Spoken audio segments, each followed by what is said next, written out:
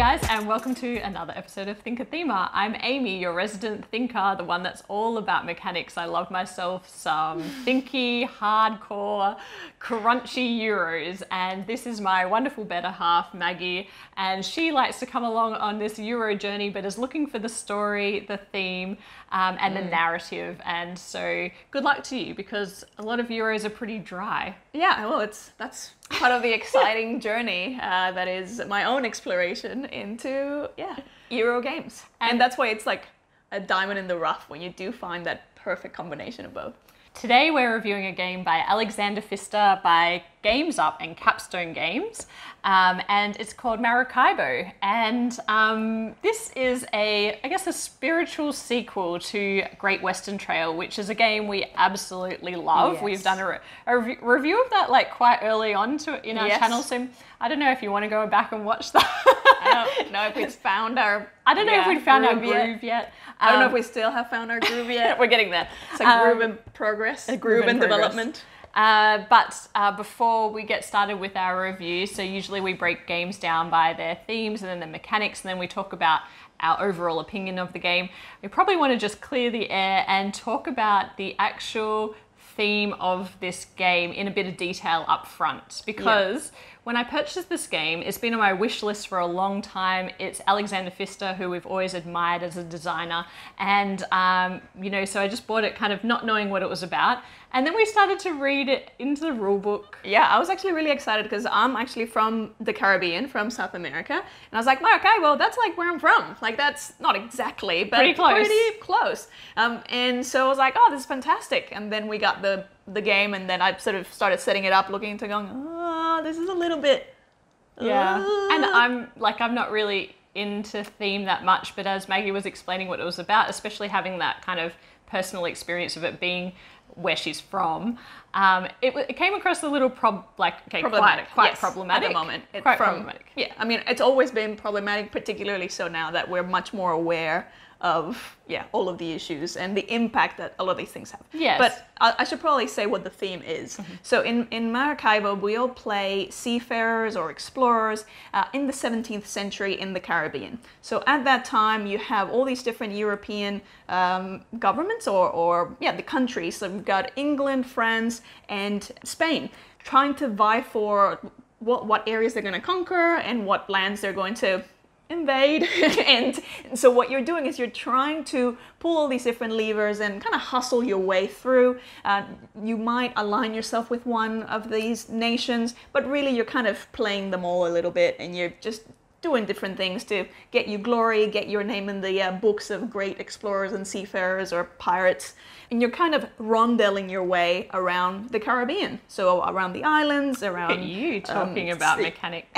yeah, well, it's just like in real life. I imagine uh, in the 17th century, you could only go one direction One with direction. your boats, and then when everybody reached uh, the final point, every every every boat resets to Havana. It's um, the way it And that's the way it played out. But Yeah. but actually, real talk. Um, the the theme is pretty problematic from our perspective. I mean, at first we were like, okay, you know, historical recount. That's fine, but it doesn't really feel good to have the objective of putting flags into Yeah. different cities um, and kind of taking them over with Yep. a with a foreign country. Yeah. Um, and and I think that what adds to that is the fact that um, all of the n- none of the indigenous communities or um, really natives Yeah. were really well represented in this game. Um, And that was the first thing. As I was going through the through the box and the rule you did, book, that's the first like, thing you said to me. There's only white people here. Yeah. There was like one native card, and that's it. Like this is not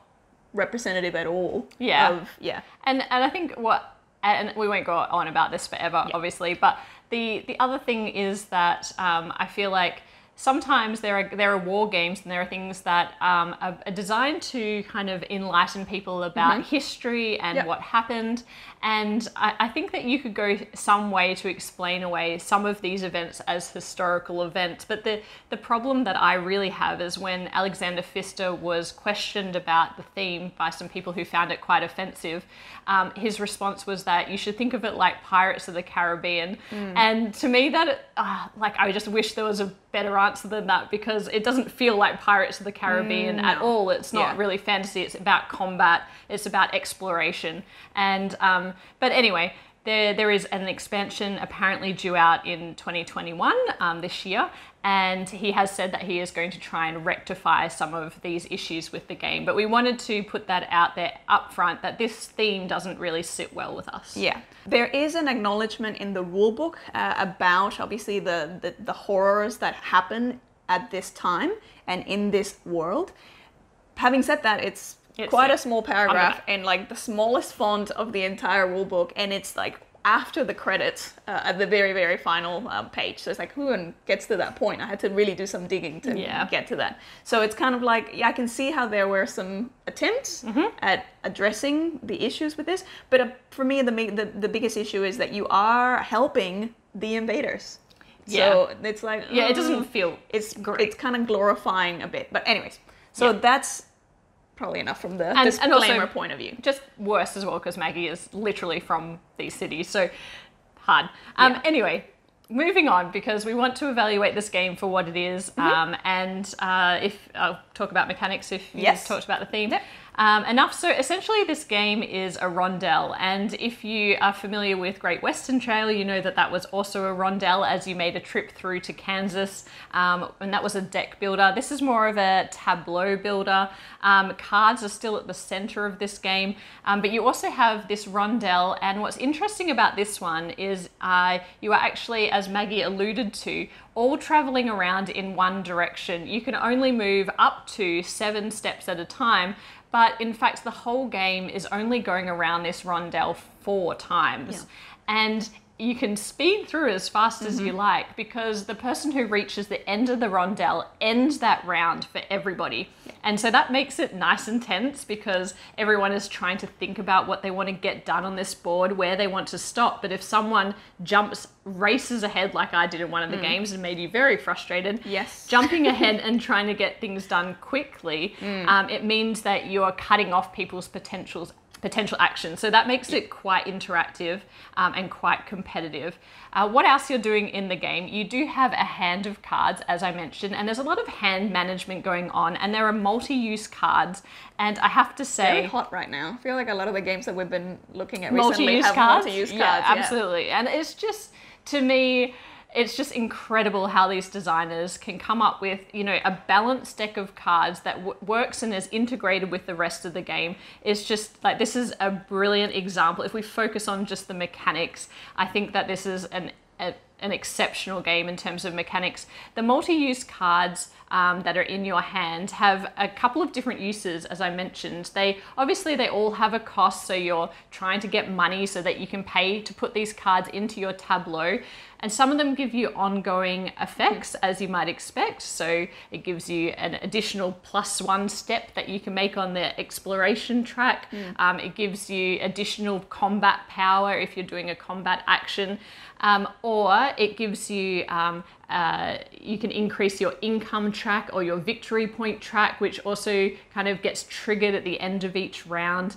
Um, the cards themselves are worth victory points at the end of the game, so there's those bonuses. But interestingly, about this game, the cards are also the resources. So when you land on special tiles and you need to pay in resources, you need to have the right cards in your hand. And that is really clever because then you are actually making a trade off between keeping the card in your hand and buying it and putting it into your tableau for the ongoing action or using it, discarding it as a resource to get a tile on the board or to fulfill an order. Really, really, really clever. Yeah. And I just Mm, I just feel like that it's so well integrated. Maggie and I had a few arguments about Lots this along the way, about- yeah. um, but I felt like the mechanics there were brilliantly um, kind of connected. Um, the one part of the board that didn't make a lot of sense to me to begin with, the more we played it, the more it started to make more sense. I still think it's really like its own separate game, is this combat section of the board up the top here. And as Maggie mentioned, you can align yourself with um, three different countries.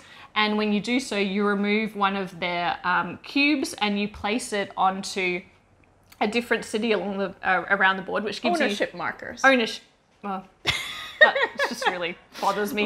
Um, so you can put an ownership marker on a city, um, and when you do that, it will give you some bonuses. But also, the main point about this top track is it's a multiplier victory points at the end of the game. So we look at which country has the most influence on the board at the end of the game gets more points and that gets multiplied by however much influence you have with that country and actually we learned pretty pretty soon into a few games. Um, this game, actually, we wanted to review this sooner, but there was so much to explore in this game that we just kept playing it every day, and we would uh, we would use a different strategy. We've played it at two players, and we played it at three players. Maggie's also played it at solo, which we'll talk about. And each time we challenged ourselves to use a different part of the board and try and maximize our score.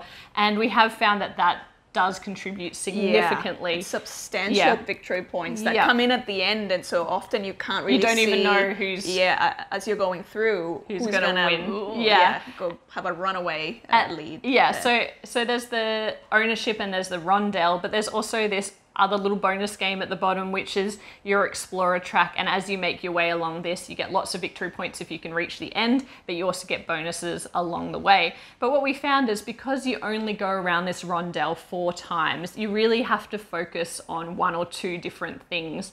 Um, there's lots of other things going on here. You also have a career, which gives you points um, and unlocks kind of workers along the way. Not workers, assistants. Yep, Uh, assistants, assistants yes. along the way.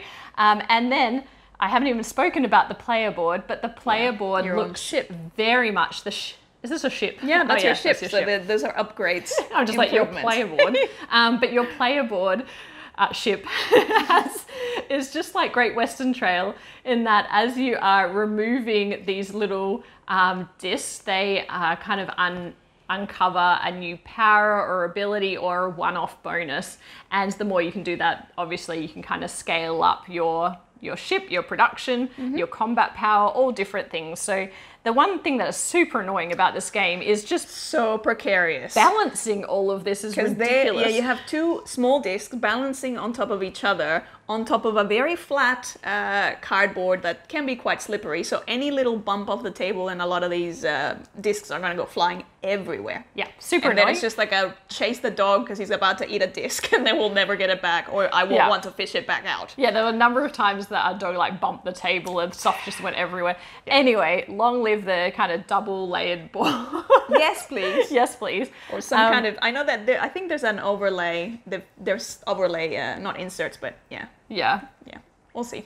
Um, anyway, I think that is basically the crux of the game. Ultimately, it is whoever has the most victory points wins. Should we Um, also talk about the story mode? oh, the they're trying to story integrate mode. as well. Yeah. Ah. and legacy, yeah. like the legacy tiles. Yeah. Yeah, they so Alexander Pfister, um, like I think this is a good idea. Um, he's Yeah. trying to I applaud the effort. yeah the effort to take a dry euro and um, put in a narrative so that it's not a legacy game. I wouldn't call it a legacy game, but it is um, a story that kind of changes in chapters and changes the board state a little bit. It adds in these these tiles as you go and you can kind of choose if you want to fulfill the story objective to then move it along and move to the next page.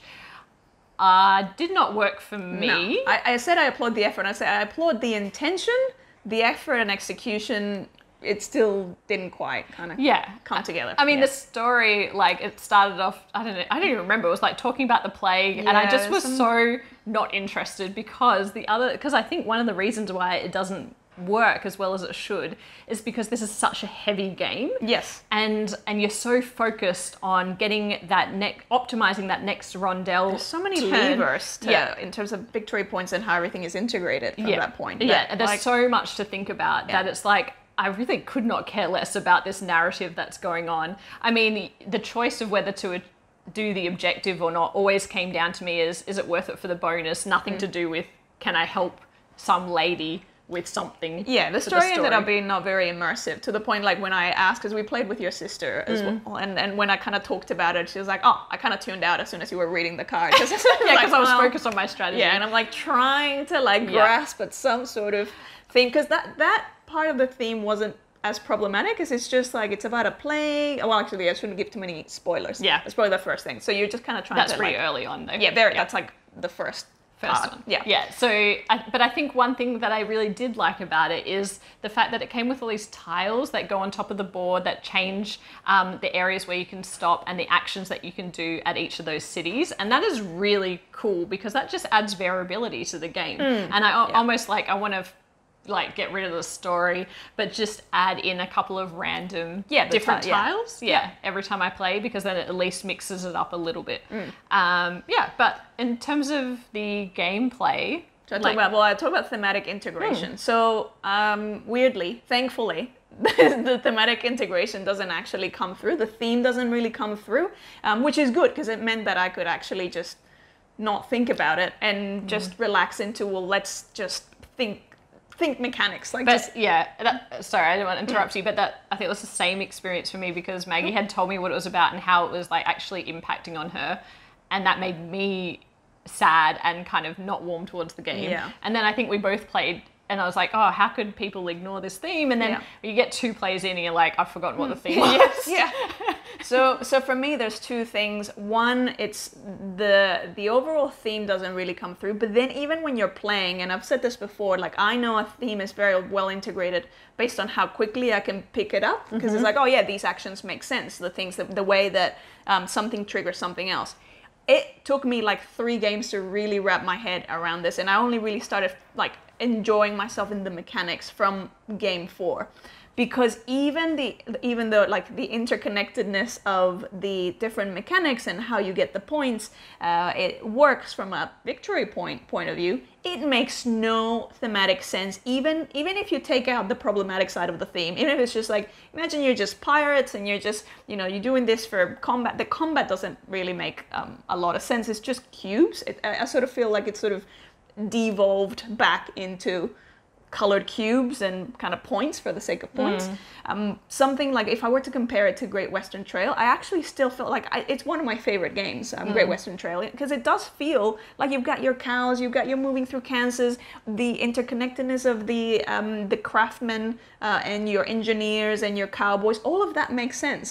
All of their roles make here sense, is just like it's just a whole bunch of different mechanics that I had to, or different puzzles that I had to abstractly wrap my head around. And this is the part where we were arguing a Mm. lot, actually, because in our first few games, I was like, I think because I'm just focused on the mechanics, I was like, this is amazing. Like the way that they've been integrated in these cards and with everything on the board is just like mind blowing to me that someone could do that. Um, and but for Mag- me, I was like, this is not at Maggie's all coming like, together. this is just me. like a whole bunch of stuff is thrown into a- a bag. yeah, this is just a whole bunch of mechanics, and and yes, they are they do work together. It's not like they're because Yeah. I kept saying disjoint, disjointed, like it just Yeah. feels disjointed. And I kept saying disjointed thematically, Yes. not mechanically. Yes, and that we- is correct. yeah. yeah. So we, but we resolved our issues because because I we kind of kept playing and kept playing, and then you kind of got the integration of the mechanics and. Yeah. Um, and then it was like a really tight race. It's been a really quite a tight race every Yeah. time that we've played. Yeah. Even when we've been using different strategies. Yes. Um, I still would say that um, this doesn't replace uh, Great Western Trail because I know that's one of the things that people have said. It's like this is like you know Great Western Trail plus plus. Yeah. And it's like I feel like it probably is in terms of the, the as I, I keep saying the levers that you're pulling and all of that interconnect. But as a gaming experience, I still enjoy that more than this. Um, I yeah, yeah. I well. Look, I, I think I, I don't love theme, but I with Great Western Trail, I completely agree that you it's heavy, but you almost forget how heavy it is because the Yeah. theme helps you along. Feels logical yeah, as you're and, playing. And Yeah. I wouldn't want to necessarily teach this to many people because it is it's quite heavy. The iconography is a lot to take in, Hmm. um, and like we found ourselves going back to the rule book time Yeah, and time again times, to yeah. like try and find out what things meant, and, and it took a little while to and get it. to me, it sort of says that it's not intuitive. It's not an intuitive game. It's something that takes a while to kind of understand how they work, how yeah, things work. yeah, yeah, but I, I really do. If you haven't got this already, I really do appreciate the mechanical design here. Um, I love I love a rondelle, Mm-hmm. which everybody knows. Um, but the idea of like ending everybody's turn at the end of the rondelle is so mean, That and I just love it. painful, but I get it. And it's like, it's one of those things that it's like, because I, I actually love taking my time and exploring something.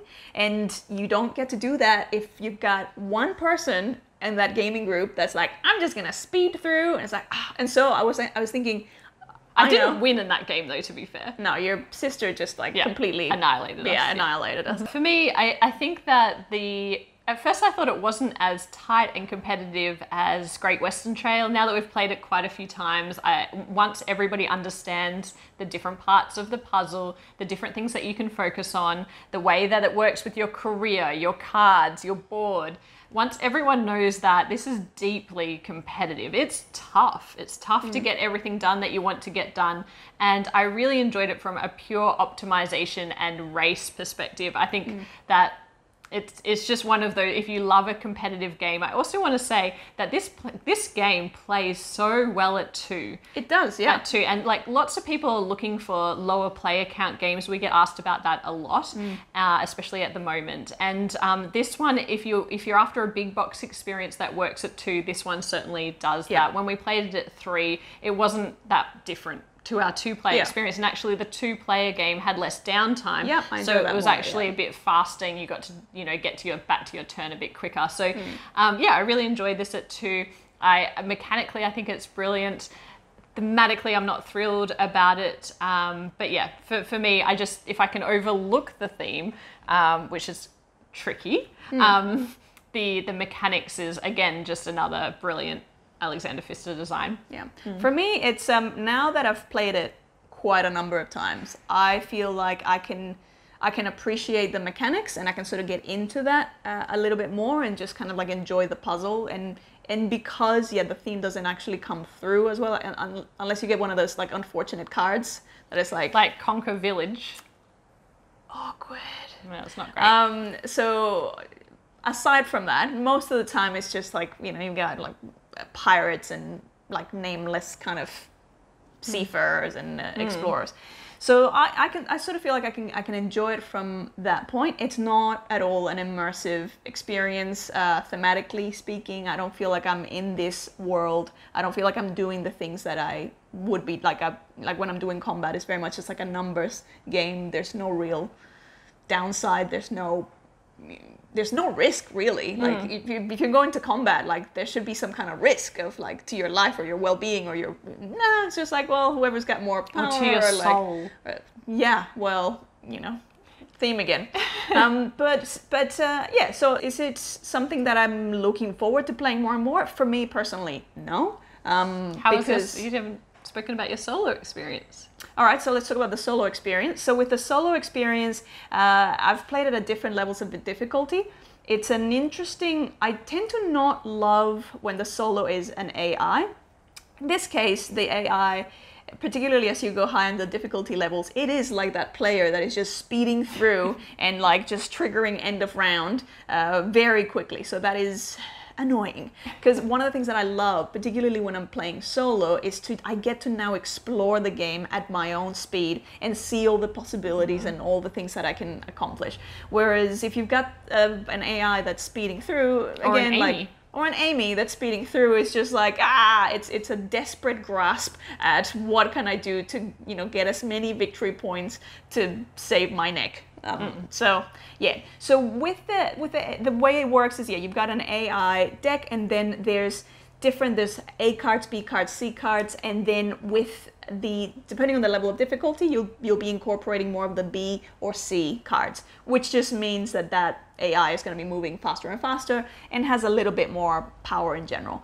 It has crazy catch-up mechanics at the end in terms of victory points. It's like and, and things that I would keep forgetting. It's like the, it, it can collect uh, quests along the way, and then by the end, it usually has quite a hefty little uh, pile stack. And it's like, oh yeah, it's five points per per quest. And it's like what? And then it's like if, if it's got more quests than you, it's an extra 10 points. It's got if it's got, you know, X number more than you, it's 20 or 30 points. And you're like, what is happening? Because like throughout the game, you're like, oh yeah, we're kind of we're doing okay, or like I'm pretty safe. And then all of a sudden at the end, it does this like crazy laps around the board that is like, oh, you know.